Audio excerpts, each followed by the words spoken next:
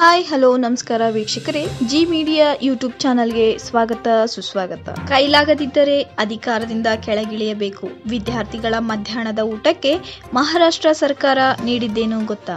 ದೇಶದ ಅತಿ ಶ್ರೀಮಂತ ನಗರ ಪಾಲಿಕೆಗಳಲ್ಲಿ ಒಂದಾಗಿರುವ ಮಹಾರಾಷ್ಟ್ರದ ಪುಣೆ ನಗರ ಪಾಲಿಕೆಯು ತನ್ನ ವ್ಯಾಪ್ತಿಯ ಶಾಲೆಯೊಂದಕ್ಕೆ ಮಧ್ಯಾಹ್ನದ ಊಟ ಕಳಿಸುವ ಬದಲಿಗೆ ದನದ ಪೌಷ್ಟಿಕಾಂಶ ಆಹಾರ ರವಾನಿಸಿ ಎಡವಟ್ಟು ಮಾಡಿದೆ.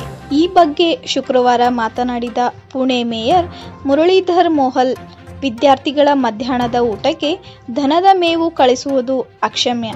ಈ ಘಟನೆಗೆ ಕಾರಣರಾದವರ ವಿರುದ್ಧ ಕಠಿಣ ಕ್ರಮ ಕೈಗೊಳ್ಳಲಾಗುತ್ತದೆ ಎಂದು ಹೇಳಿದ್ದಾರೆ.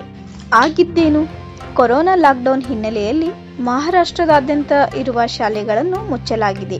ಆದಾಗ್ಯೂ, ಶಾಲಾ ಮಕ್ಕಳಿಗೆ ಮಧ್ಯಾಹ್ನದ ಊಟ ಸರಬರಾಜು ಆಗುವಂತೆ ನೋಡಿಕೊಳ್ಳುವ ಜವಾಬ್ದಾರಿಯನ್ನು ಶಾಲೆಗಳಿಗೆ ವಹಿಸಲಾಗಿದೆ.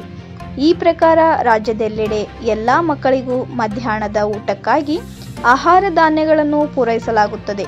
ಅದೇ ರೀತಿ ಪುಣೆ ನಗರ ಪಾಲಿಕೆ ವ್ಯಾಪ್ತಿಗೆ ಬರುವ ಐವತ್ತೆಂಟು ವಿದ್ಯಾರ್ಥಿಗಳನ್ನು ಒಳಗೊಂಡ ಪಾಲಿಕೆ ಶಾಲೆಗೆ ಇತ್ತೀಚೆಗಷ್ಟೇ ದನಗಳಿಗೆ ಇಡಬಹುದಾದ ಪೌಷ್ಟಿಕಾಂಶದ ಆಹಾರಗಳನ್ನು ಪೂರೈಸಲಾಗಿದೆ.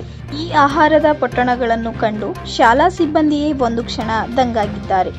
ಈ ವಿಚಾರ ಭಾರತೀಯ ಆಹಾರ ಗುಣಮಟ್ಟ ಮತ್ತು ಸುರಕ್ಷತಾ ಪ್ರಾಧಿಕಾರಕ್ಕೆ ಮುಟ್ಟಿದ್ದು ದನದ ಆಹಾರಗಳನ್ನು ವಶಕ್ಕೆ ಪಡೆದುಕೊಂಡಿದೆ. ವೀಕ್ಷಕರೇ ನೀವು ನಮ್ಮ ಚಾನಲ್ ಇನ್ನೂ ಕೂಡ ಸಬ್ಸ್ಕ್ರೈಬ್ ಮಾಡಿಲ್ಲ ಅಂದರೆ ದಯವಿಟ್ಟು ಲೈಕ್ ಮಾಡಿ, ಸಬ್ಸ್ಕ್ರೈಬ್ ಮಾಡಿ ಹಾಗೂ ಪಕ್ಕದಲ್ಲಿರುವ ಬೆಲ್ ಬಟನನ್ನು ಕ್ಲಿಕ್ ಮಾಡಿ.